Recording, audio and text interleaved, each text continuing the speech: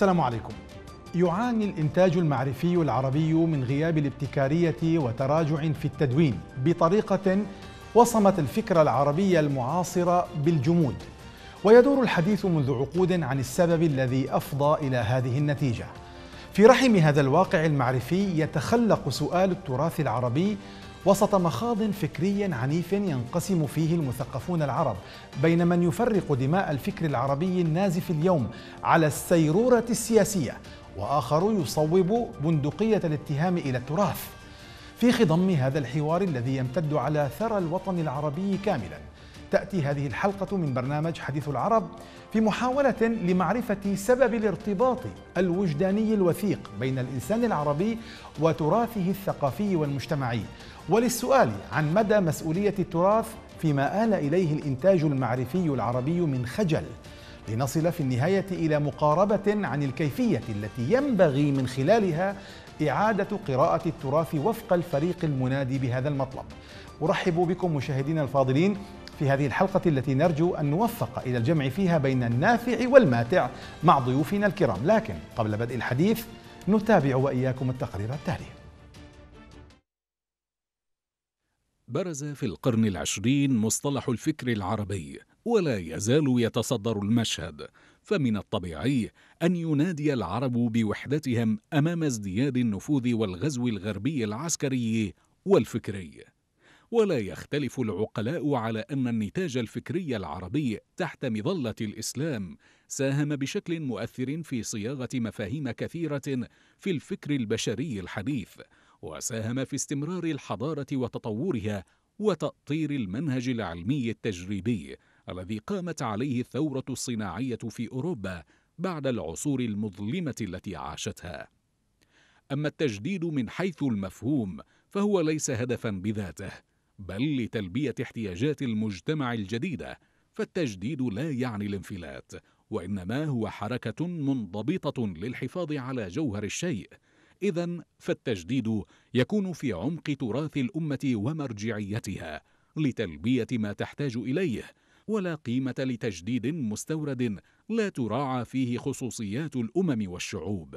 ومن المكاسب المهمة بعد المخاضات العسيرة التي مرت بها المنطقة العربية هو قبول التجديد من حيث المبدأ ولكن الخلاف المستمر حول شروط التجديد وضوابطه ومساراته بما يضمن ألا تنحرف البوصلة عن الأصل والموروث.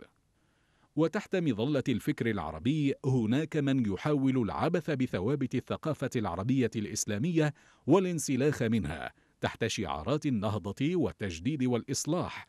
فهناك من يطرح الفكر باعتباره منظومة معرفية منافسة لمنظومة الفكر الإسلامي. لذلك يجب تحديد مرجعية للفكر العربي كما أن هناك حاجة ماسة اليوم لعدم ترك مفهوم المرجعية عائما بغير تحديد أو توضيح للمعالم والمعاني والتطبيق.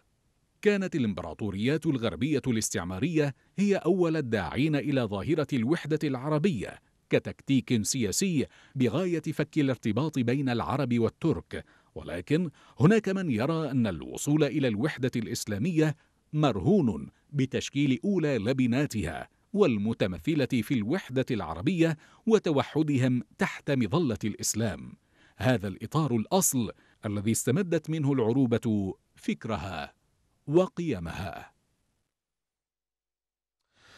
يسعدنا بحث هذا الموضوع مع ضيوفنا الكرام. معي من مسقط العاصمة العمانية عبر زوم الدكتور عبد الله الغيلاني الأكاديمي والباحث. ويشاركنا من بيروت عبر سكايب الدكتور خالد كموني أستاذ الفلسفة في الجامعة اللبنانية. وبالمناسبة ضيفنا لديه مؤلفان أحدهما بعنوان المحاكاة دراسة في فلسفة اللغة العربية والآخر فلسفة الصرف العربي. كما ينضم إلينا من تونس العاصمة عبر سكايب الدكتورة زهية جويرو أستاذ الدراسات الحضارية في الجامعة التونسية. أهلا بكم ضيوفنا الكرام. لو بدأنا من الخضراء من تونس دكتورة زهية هل ثمة مفهوم محدد وواضح للتراث العربي من حيث ماهيته ومكوناته؟ مرحبا مساء الخير. أهلا وسهلا. في الحقيقة التراث هو جماع الثقافة والمعرفة التي تشكلت عبر التاريخ. والتراث ومصطلح التراث يختلط أحيانا بمصطلحي الحضارة والثقافة.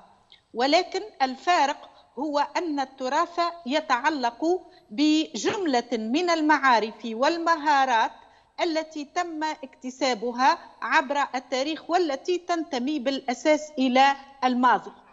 فالتراث بهذا المعنى يعني كل جماع الإنتاج المادي والفكري والروحي الذي يشكل ثقافة ما في مرحلة معينة من تاريخها. والإشكالية التي تطرح على المفكر العربي اليوم وعلى المثقف العربي اليوم بالنسبة إلى التراث العربي والإسلامي هو هي أن هذا التراث اولا جانب كبير منه غير معروف معرفة جيدة لدى نسبة كبيرة من طيب من المنتمين. دكتورة زهية يعني هذه نعم. النقطة شديدة الأهمية حقيقة التي أشرت إليها في آخر كلامك. لكن حتى لا نقفز على المحاور هذه ندخرها للمحور الأخير من هذه الحلقة. قبل لكن في السياق ذاته أسألك التراث العربي هل يمكن القول إن الثقافة العربية أو التراث العربي متميزة بشكل أو بآخر عن الإسلام أم أنها هي حصيلة ما تولد منذ ظهور الإسلام حتى يومنا هذا؟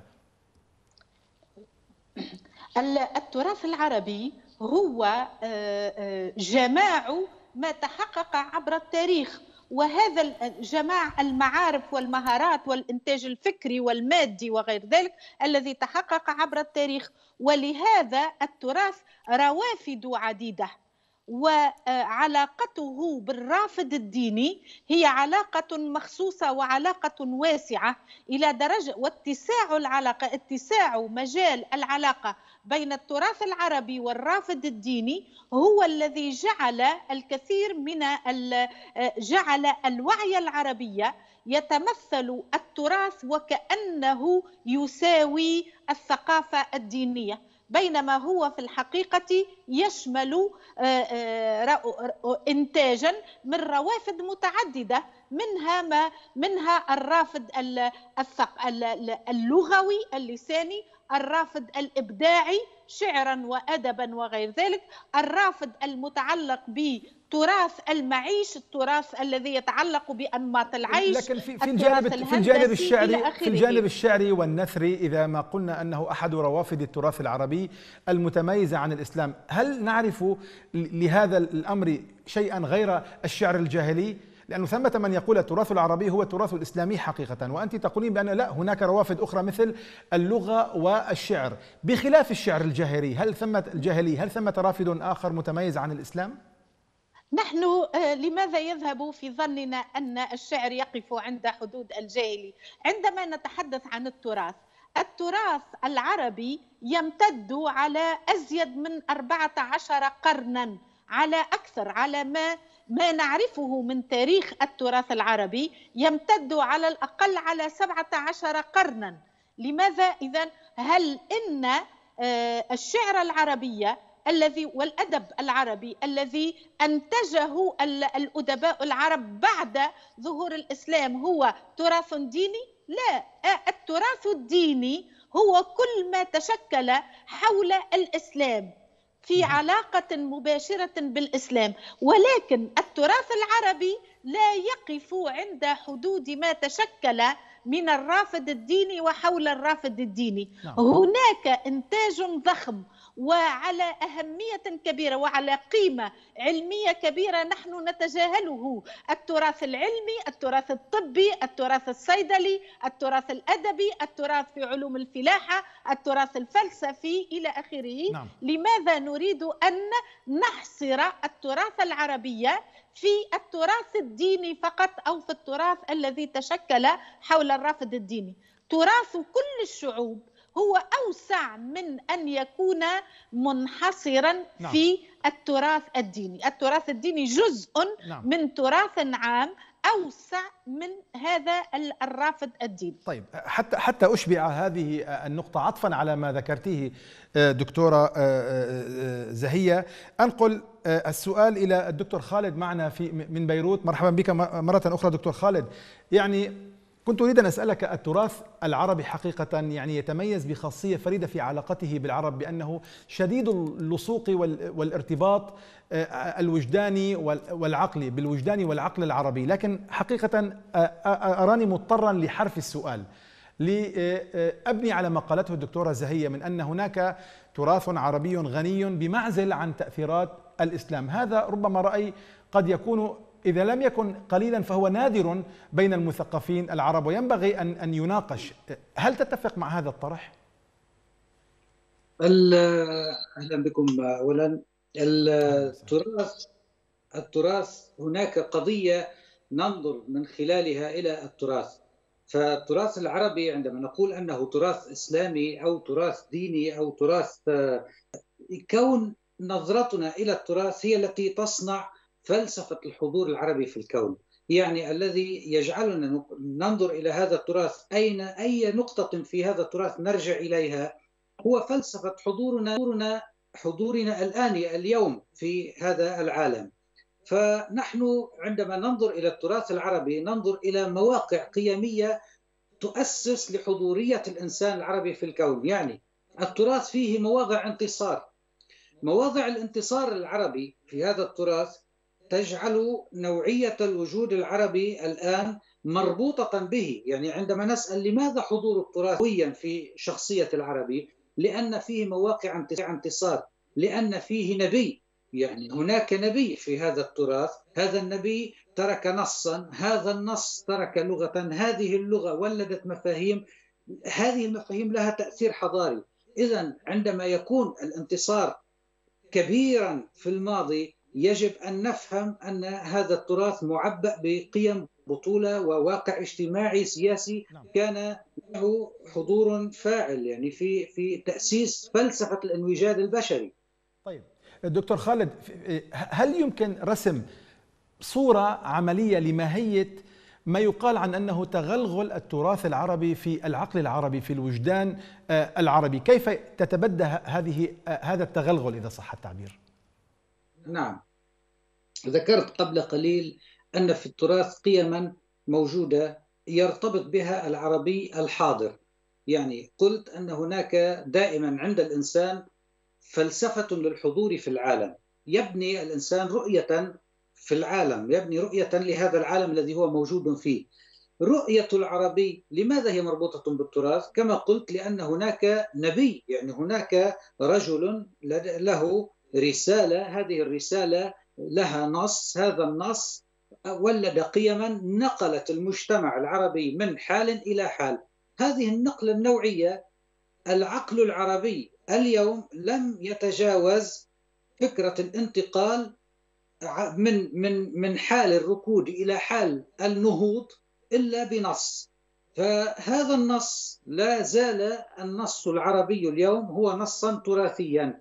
وهناك فكرة عندما قلت الانتصار وهي قيمة مولدة للحضور المعيش فكرة الانتصار العربي يعني التي هي تحتاج إلى معالجة سنجيب عليها خلال الحلقة عندما نتحدث عن أن الانتصار موجود في التاريخ فكأننا نقول كأن شروط الانتصار مجددا يجب أن تحاكي ما فعلناه تاريخيا. فبالنتيجة كأن التراث هو مولد للأفكار وهنا الخطأ وهنا النظرة الخاطئة. ولكن في الوجدان العربي نحن كنا والآن لم نكن نكن. نعم. طيب. هذه المسألة. نعم. نعم نعم دكتور. نعم. تفضل تابع. نعم. يعني عندما عند لأن هناك هذا الشعور النفسي بأن التراث معبأ وفيه قيم وفيه كل شيء نحن لازلنا نحاكي أي فكرة وكأنها موجودة مسبقا. يعني آه، عندما نعاين العلم مثلا آه، نجد أن هناك آه، ونحن كما قلت أشرح واقعا. ولست يعني من يتبع هذه الطريقة. ولكن كلما قلنا استجد شيئا في العلم نقول تكلم عنه العرب سابقا تكلم عنه النص الذي تكلم هو ورد في القرآن إلى ما هنالك. كأننا نخشى أن لا نكون نعرفه. منذ آه، يومين هناك نص كنت أكتبه آه، لماذا عندما نقول كلمة عرب كأننا نبدأ التاريخ من جديد في كل مرة؟ نعم. لماذا إذا قلت أن العرب يعرفون شيء أو عرفوا شيء أن للمعرفة نكهة أخرى أو طعما آخر في التاريخ؟ لأن النص له تأثير يصنع في العقل الحاضر. المهم في هذه الصناعة للعقل الحاضر أن يكون هذا العقل الحاضر مستقبلا مجددا قادرا على تقدير المستقبل وقلت مسبقا في الكتابات شيء من المستقبل تقدير هذا المستقبل. طيب دكتور دكتور خالد يعني دعني أذهب إلى مسقط لو أذنت لي يعني لأسأل الدكتور عبد الله مرحبا بك مرة أخرى دكتور يعني كما لو أنه يغمز من قناة العلاقة الوثيقة بين آه، العربي وبين تراثه غمزا اتهاميا سؤالي هو يعني هل ثمة تفسير نفسي أو اجتماعي أو تاريخي لهذا الارتباط العضوي بين الإنسان العربي وبين آه، تراثه وهل ثمة ما يعيب في هذا الارتباط برأيك؟ نعم. آه، بسم الله الرحمن الرحيم. آه، مرحبا بك وبالضيفين الكريمين والمشاهدين الأعزاء. ابتداء يعني حتى نخرج من يعني هذا الجدل النظري آه، فلا بد أن نحرر المصطلح. ماذا نعني بالتراث؟ نحن بالتأكيد نتحدث عن التراث المعرفي وليس التراث المادي. فماذا نعني بالتراث؟ آه، أنا في تقديري آه، يعني التراث هو يعني مجمل المفاهيم والأصول والقناعات التي تولدت عندما نتحدث عن التراث العربي الإسلامي. هي مجمل هذه المفاهيم التي تولدت عن النص. العرب لم يكونوا شيئا مذكورا كانوا شيئا ولكنهم لم يكونوا شيئا مذكورا الذي جعل للعرب قيمة الذي أمكن العرب من بناء هذه الحضارة والإندياح في العالم ونقل يعني هذه الرسالة هو الإسلام. العرب كانوا أمة هامشية ضعيفة يمارس عليها كل صنوف الإقصاء والعدوان من قبل الإمبراطوريات المحيطة فالذي بعث الروح في العرب وجعلهم شيئا مذكورا وأمكنهم من بناء هذه الحضارة هو الإسلام. آه إذا ليس هناك تراث عربي بمعزل عن الإسلام. نعم أنت سألت الأخت الكريمة عن يعني الأدب الجاهلي أو أدب ما قبل الإسلام. نعم لأن العرب كانوا أهل بيان وأهل فصاحة فأنتجوا هذا الإنتاج الأدبي ولكن حتى هذا الإنتاج الأدبي لم يتزكى ولم ينتظم إلا بعد بعد الإسلام. يعني صار له قواعد وأصول آه، وقوالب معينة وصار له معايير. حتى هذا الإنتاج الأدبي الذي تميز به العرب قديما. آه، ولكن في المجمل نحن نتحدث هنا عن إنتاج معرفي ضخم في كل الأبواب في الطب في الكيمياء في الهندسة في الأصول.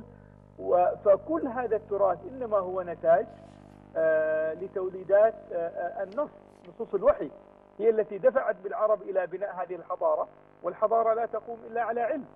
فهذا الإنتاج المعرفي الثر الذي ولدته الحضارة الإسلامية إنما كان من نتاج يعني النص المقدس آه، يعني كتابا وسنة. آه، وهنا هنا في إشكال هنا في إشكال. يعني بعض الناس عندما يتحدث عن الإسلام فإنما يحصر الإسلام آه، في تعريفات ضيقة جدا في الشعائر في العقائد في الأخلاق وبالتالي يخرج يعني من الإسلام كل أنواع المعارف الأخرى المعارف الحياتية وأنظمة الحياة يخرجها من الإسلام ويعني بالتالي يريد أن يجانب بين هذا الإنتاج المعرفي في آه، آه، يعني حقول الحياة المختلفة وبين المرجعية الإسلامية. أنا أقول لا حتى هذا الإنتاج المعرفي التراثي في كافة هذه المجالات إنما تولد عن المرجعية الإسلامية وإنما جاء بدوافع آه، يعني الحضارة الإسلامية نعم. لو أيضا ربما آه، السواد الأعظم من العلماء والمثقفين الذين أسهموا في بناء الحضارة الإسلامية ومراكمة هذا الإنتاج المعرفي لم يكونوا عربا نحن نتحدث هنا عن يعني الحضارة العربية الإسلامية بمعنى إنما العربية اللسان. ولكن الذين أسهموا في بناء هذه الحضارة لم يكونوا عربا فقط وإنما أجناس وأعراق وإثنيات أخرى من التي دخلت الإسلام في كافة أرجاء المنطقة يعني ساهمت اسهاما ثريا بالغا في بناء هذه الحضارة. فليس من الإنصاف وليس من الموضوعية أن إحنا نسم أو يعني نصف هذا التراث بأنه تراث عربي محض يعني هو تراث عربي بمعنى أنه صيغ باللغة العربية ودون باللغة العربية والذين دونوا وساهموا في إنتاجه بهذا نعم. المعنى هم عرب ويعني آه، ما ينبغي أن نصنف هذا التراث وهذا الإنتاج باعتباره عربيا بالمعنى العرقي أو بالمعنى الاثني. طيب أعود إلى الدكتورة زهية. غالبا ما يعني تحلل العلاقة بين العرب وبين تراثهم بطريقة نقدية بطريقة يعرض فيها بهذه العلاقة. سؤالي هو يعني هذا اللصوق بين العرب وبين تراثهم في تفسيرك يعني حتى نبحث هذه الظاهرة ونخرج منها حتى ننتقل إلى الأثر الذي أحدثه التراث في الفكر العربي المعاصر. لكن قبل ذلك أسألك هل هذا اللصوق مرده إلى اعتزاز عربيا بالميراث الحضاري الغني على صعيد على جميع الصعود اللغة والفلسفة والأدب والفكر وحتى العلوم التطبيقية في زمانه. أم هذا الالتصاق مرده إلى عجزا عربيا والرغبة في الهروب من الواقع الذي عجز فيه العرب عن مسايرة الحداثة؟ شكرا على هذا السؤال. أود آه، قبل كل شيء أن أركز وأن أوضح المفاهيم لأن مسألة المفاهيم مسألة مهمة جدا.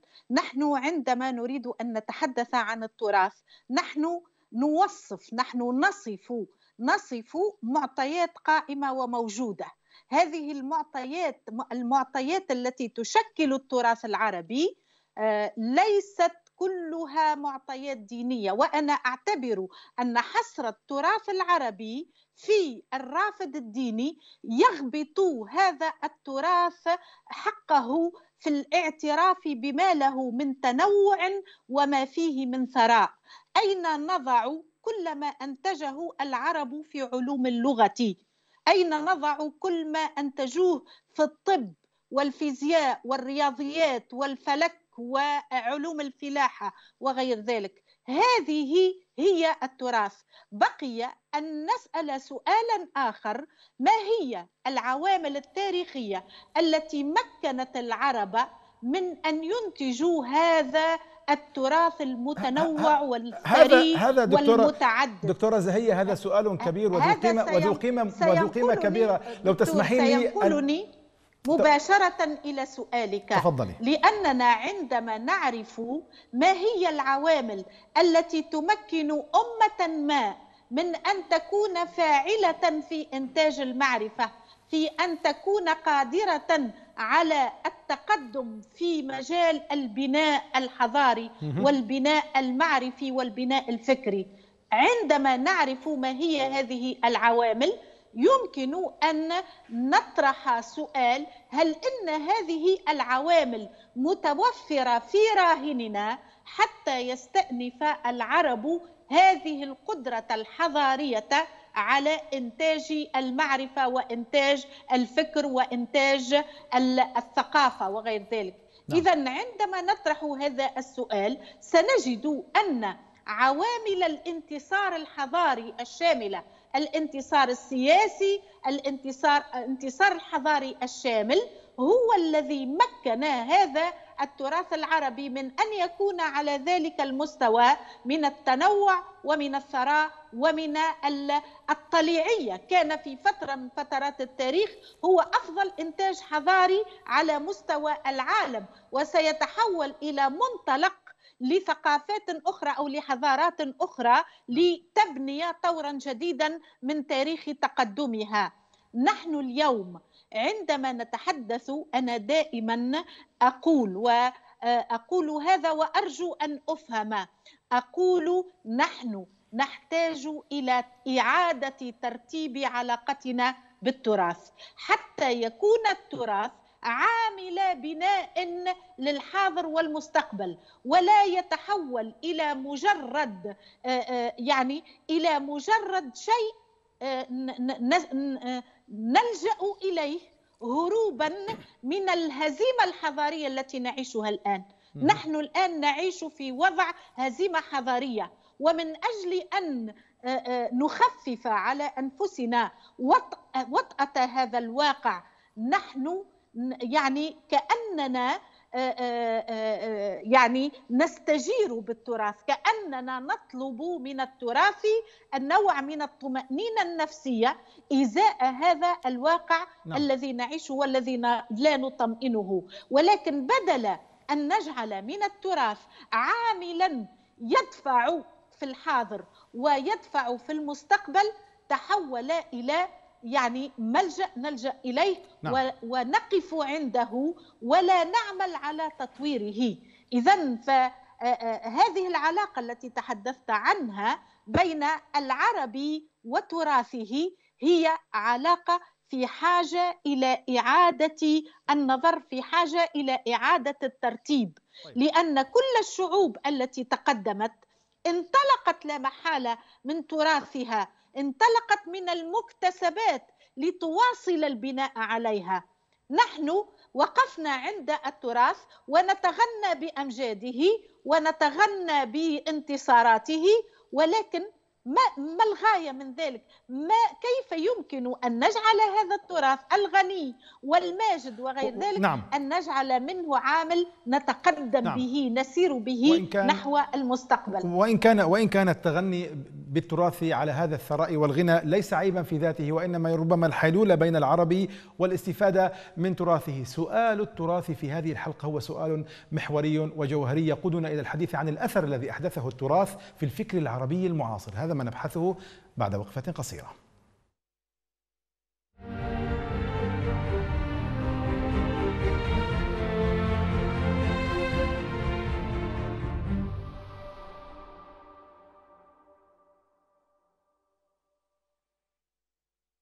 لمشاهدة بث قناة الرافدين الفضائية على نظام اتش دي ابحث عن التردد الآن عشرة آلاف وسبعمائة وسبعة وعشرين أفقية على مدار القمر نايلسات الرافدين دي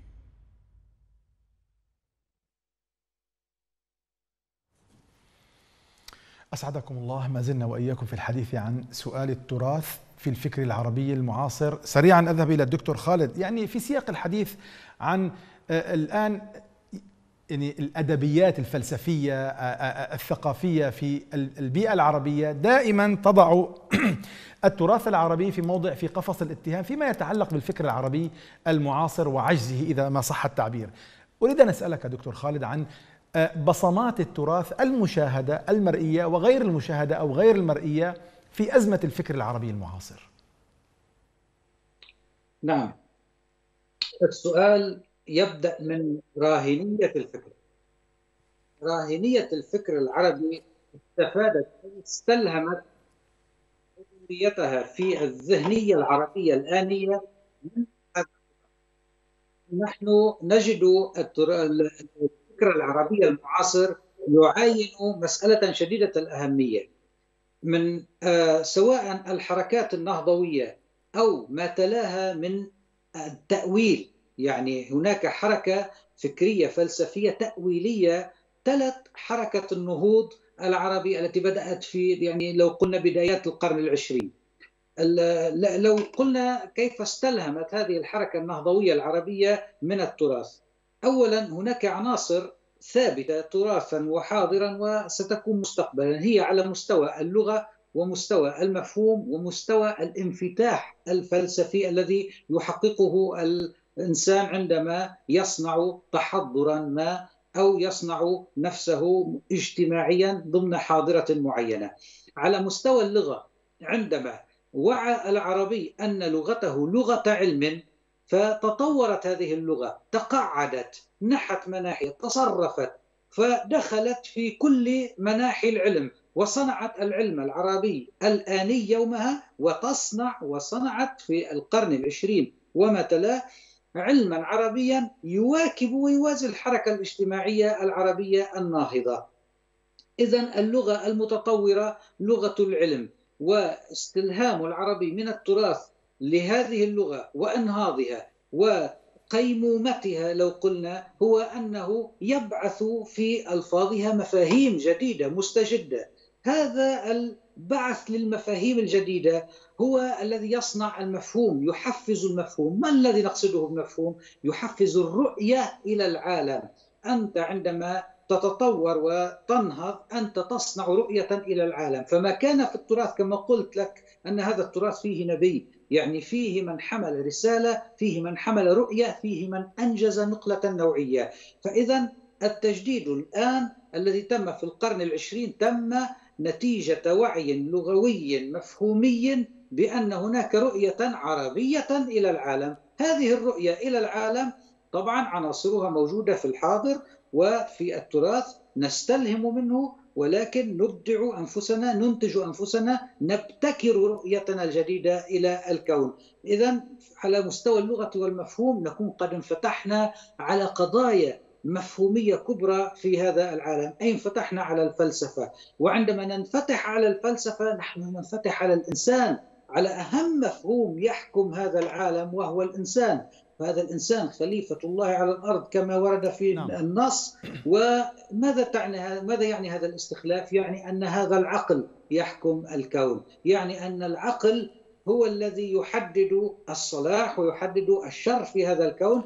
أي أن هناك قيما يعني لسياسة هذا نعم. الكون وقيما لاجتماع هذا الكون ولعلم هذا الكون نعم. يبدعها هذا الإنسان إذا التراث هو محو الفكر الإنساني يحتوي كل هذا الفكر لذلك اثره في الحاضر أن الإنسان لا يزال مستمرا إذا التراث يستمر باستمرار هذا الإنسان ولكن الجديد هو الإنسان الراهن هذا الواكد في طرح القضايا هذا المصر على أن يكون محدثا لأشياء جديدة تواكب الحدث. اذا لا يمكن أن يكون فعله من نتاج ماضيه هو يستلهم من نعم. ماضيه ما جرى وينتج لغة يحدثها الآن بنظره الآن أي يفلسف الأمور. هذه الفلسفة بعدها إنساني دائما. وعندما كان العرب بهذه المتانة وهذه القوة الحضارية ذلك أن البعد الإنساني كان قويا عندهم. طرحوا رؤية بمستوى الكون هي الرؤية إلى العالم. عندما نعم. وعوا أنفسهم أنهم عالمين أنهم عالمون عفوا. يعني هو عندما خاطبهم رب العالمين أي رب هؤلاء الذين يعلمون يعلمون هذا الكون يجعلون منه علامات يفهمونه يعونه يؤولونه. لذلك بعد الحركة النهضوية في القرن العشرين التي أسست أيديولوجيات للنهوض العربي أيديولوجيات قومية يسارية آه، إسلامية إصلاحية إلى ما هنالك نعم. تلاها حركة فكرية آه، ممكن أن نقول هادئة بالتعاطي مع النص ويعني آه، تركت ربما أشخاص وتوجهت إلى نصوص لأنها تريد طيب. أن تحاكم أفكار مجددا هذه الحركة حركة تأويلية لذلك برزت يعني برزت ينابيع فلسفة عربية آنية قوامها التأويل ونشط التفسير ونشطت بنى التحليل التجديدي في اللغة ونشطت الأساليب ونشط بالتالي البيان طيب. وهذا البيان قوام العربي العربي كائن بياني فعندما يبرز شخصه في هذا الكون بيانيا معنى ذلك أنه يعي نفسه حضاريا نعم. ويعي أن التراث طيب. مجاله هنا في الزمن وأن الإنسان مجاله هنا في الزمن. وبالتالي الانطلاق نحو المستقبل يكون من وعي أبعاد الزمن في المكان طيب دكتور دكتور خالد طرحت نقطة شديدة الأهمية وربما تحتاج إلى حلقة منفصلة ومستقلة وهنا أسأل الدكتور عبد الله يعني طرح قضية مرجعية العقل في تحديد الصواب من الخطأ الحلال من الحرام الخير من الشر.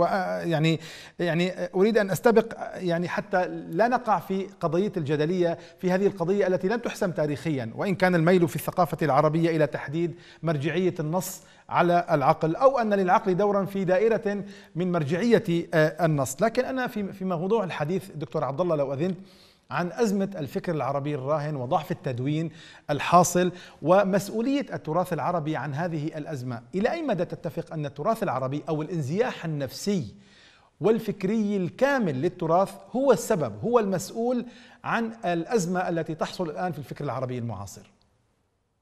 نعم الأزمة العربية ليست أزمة آه، فكرية محضة. الأزمة العربية هي أزمة آه، يعني حضارية شاملة. هناك تخلف هناك انحطاط هناك خروج من التاريخ إلى حد كبير.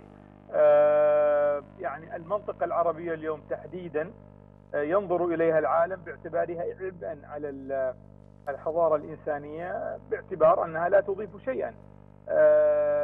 بل هي عبء على يعني المنتج الحضاري الإنساني. تستهلك ولا تنتج شيئا. وحتى هذا الاستهلاك هي لا تحسن أيضا يعني استهلاك ما, ما ينتجه الآخرون. فالأزمة العربية أو المعضلة العربية إذا جاز التعبير هي ليست معضلة فكرية محضة وإنما هي معضلة شاملة. الآن هل لهذا التراث دور في حالة الجمود يعني الفكري التي عليها الإنسان العربي والأمة العربية؟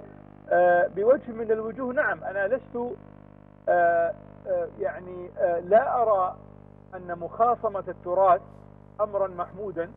ولا أرى أيضا أن الاستئثار للتراث أمرا محمودا. بمعنى ينبغي أن لا نستأثر للتراث أن نكون أسرى للتراث أن نجمد على هذا التراث. لكن في المقابل أيضا لا نخاصم يعني هذا التراث. التراث كما أشرت في مطلع الحديث هو نتاج اجتهادات. هذه الاجتهادات يعني الفكرية أو هذه المفاهيم التي صيغت والتي تولدت مرة أخرى عن النص إنما كانت متأثرة بجملة من العوامل. العامل الأول هو يعني الحالة العقلية والمزاجية للمفكر أو المثقف أو العالم العربي أو المسلم أن شئت. آه فلكل إنسان يعني صبغة معينة من حيث البناء العقلي حدة الذهن المزاج المقاربات هذه هذه كلها تنعكس على مقارباته وعلى إنتاجه الفكري. عامل آخر آه يعني هو المدرسة التي ينتمي إليها. نعلم مثلا أن الفقهاء آه يصدرون في فتاويهم أو في تفسيرهم للنص آه من المدارس التي ينتمون إليها إذ أن لكل مدرسة جملة من القواعد والأصول والموجهات التي تحكم عملية التفكير.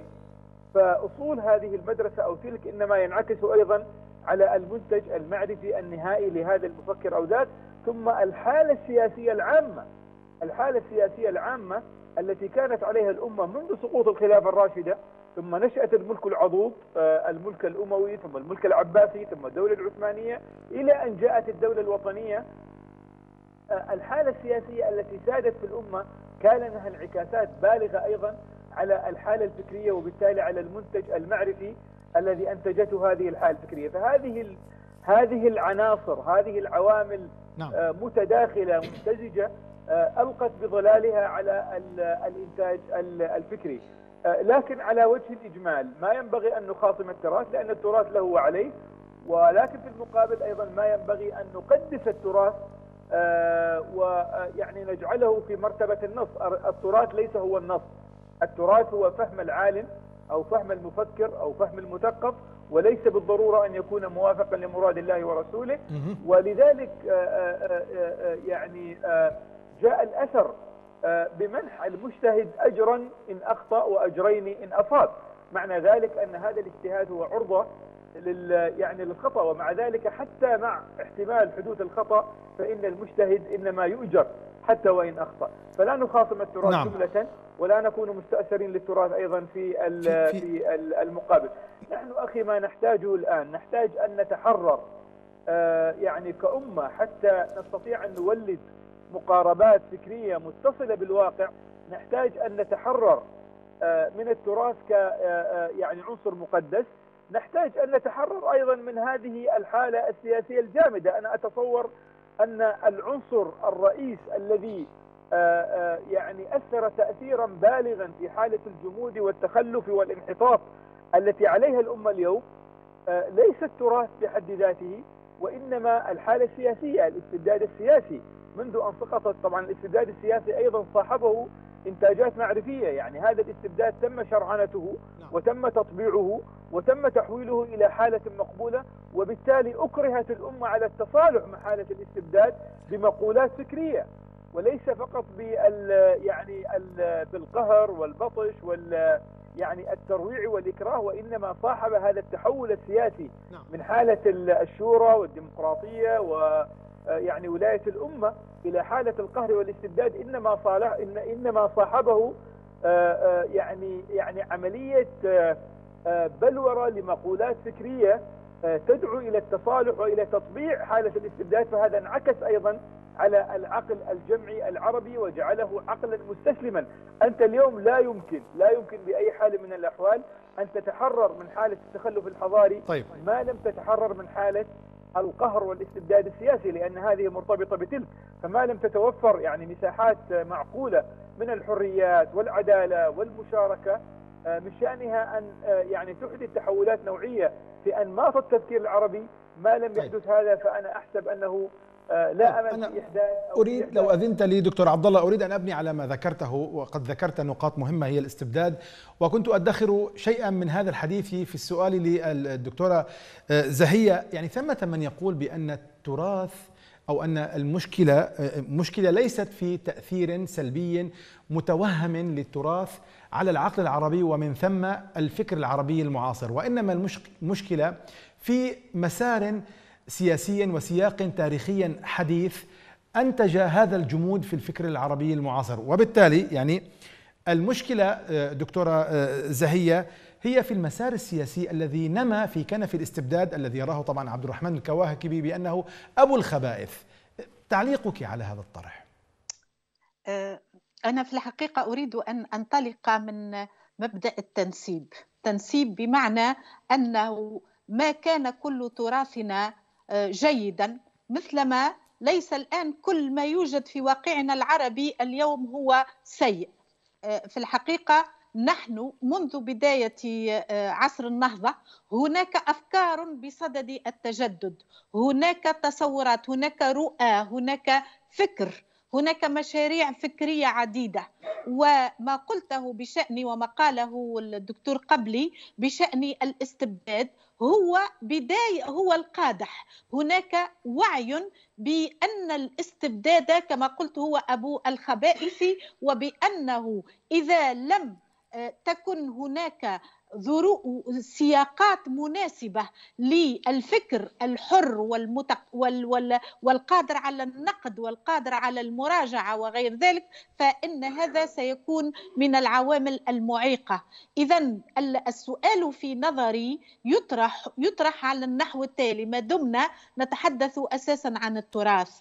ف السؤال الذي أعتقد من المهم أن نبدأ منه هو أن هذا التراث هل هل إن إن المط... هل إننا نحن من يمتلك هذا التراث ونريد أن نجعل منه ومما هو جيد فيه منطلقا للحاضر وللمستقبل أم إن هذا التراث يمتلكنا نحن ويشدنا إلى الماضي؟ هذا هذا السؤال يعيدنا مرة أخرى إلى مسألة ترتيب العلاقة مع التراث.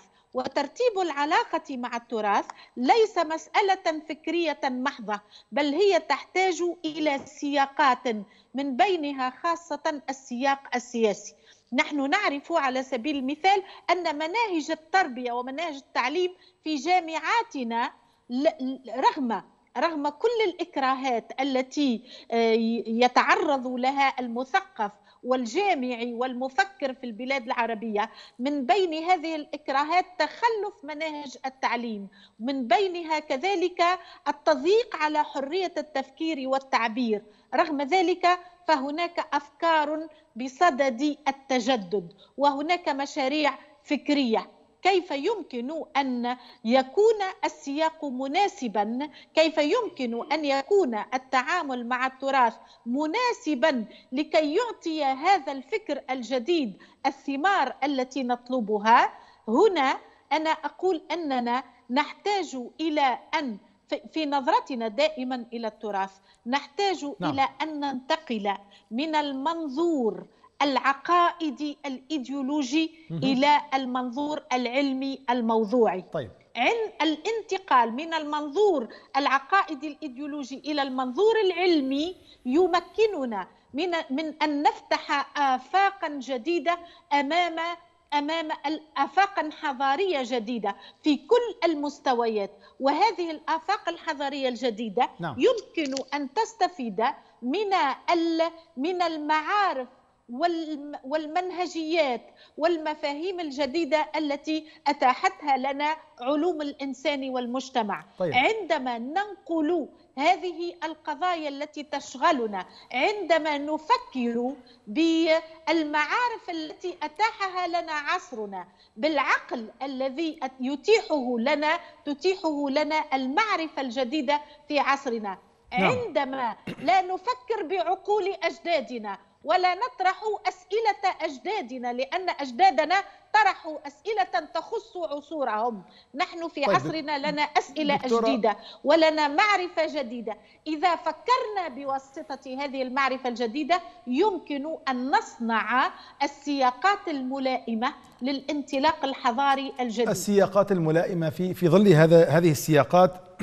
والدكتوره طبعا دكتور خالد كما طرحت الدكتورة آه، آه، زهية من تونس عن ترتيب العلاقة بين التراث العربي وبين العرب وهي عبارة دبلوماسية قياسا مع من يقول بنقد التراث أو بإعادة قراءته وفق قيم الحداثة. كيف يمكن أن يقرأ تراث العرب من جديد؟ وما هو الذي ينبغي أن يقرأ من جديد مرة أخرى؟ إعادة قراءة. وألتمس منك الاختصار لأنه دهمنا الوقت دكتور. تفضل.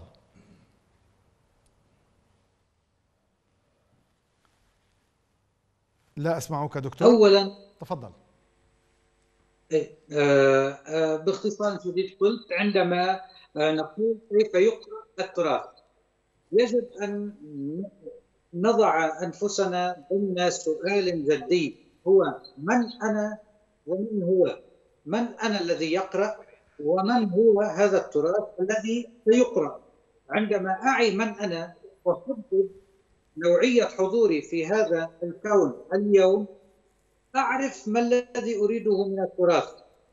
يعني عندما أحكم فلسفة المعيش اليومي وأدرك حاجاتي العلمية للحضور والوجود الطبيعي الذي يليق بالإنسان الذي يمور في ذهنيتي أعرف لغة علمية عند ذلك تتحدد بموجبها نوعية الحضور في هذا الكون. ولكي نعرف كيف يقرأ التراث يجب أن نعي أن هناك مشاريع عربية راهنة يقوم فيها نوعا يقوم فيها نوع من الحلقات المخبرية لدراسة آه، الأفكار العربية الفكر العربي الراهن وبالنتيجة التراث العربي ضمن حلقات بحثية تتناول هذه المعطيات الأنثروبولوجيا والاجتماع والتاريخ والفلسفة واللغة والى ما هنالك. هذا التخصص في دراسة التراث هو الذي يحدث نقلة نوعية في حياة العربية. هو الذي نعم. يعيدنا لكي نعرف أنفسنا كما قلت أنا ومن هو التراث؟ هو إنسان اليوم العربي الماضي العربي. طيب هناك بعض الإشكال في الصوت دكتور لكن الصورة العامة المعنى العام من حديثك وصل تماما دكتور خالد. أنتقل إلى دكتور عبد الله. ربما من شروط إعادة قراءة التراث القضية المطروحة الآن في الوطن العربي على مستوى النخب أن يكون العقل العربي قد امتلك ناصية المعرفة التامة بهذا التراث بمحتواه بمضمونه بإيجابياته وسلبياته هل هذا الشرط متحقق في الحالة العربية اليوم التي تعيش عصر جمود حقيقي في الإنتاج المعرفي إذا ما استثنينا فترة مرحلة التدوين الثاني التي كانت في أواخر القرن التاسع عشر؟ هل هناك إدراك تام للتراث العربي في العقل العربي اليوم؟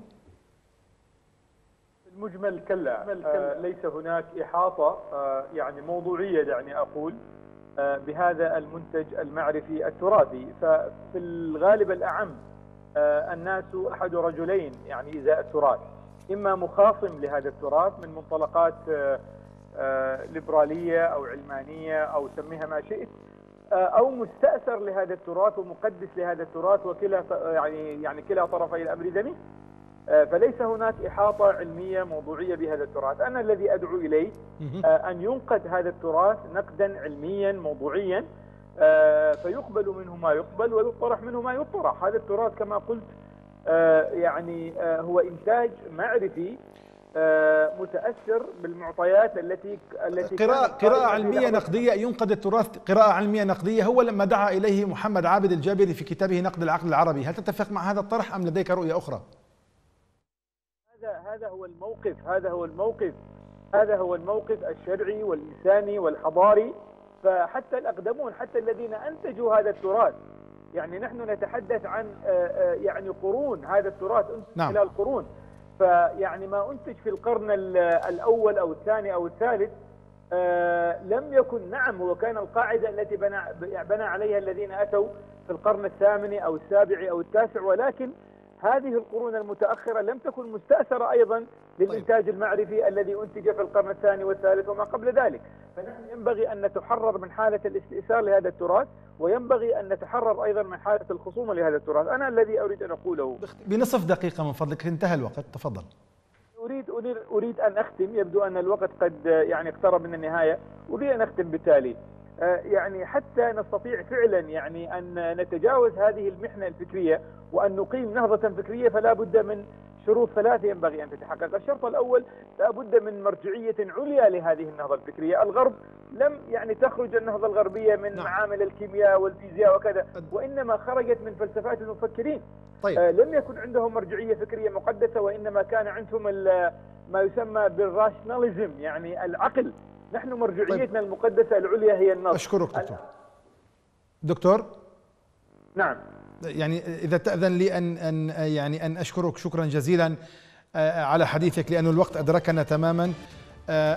في ختام هذه المشاركة أشكر ضيوفي الكرام.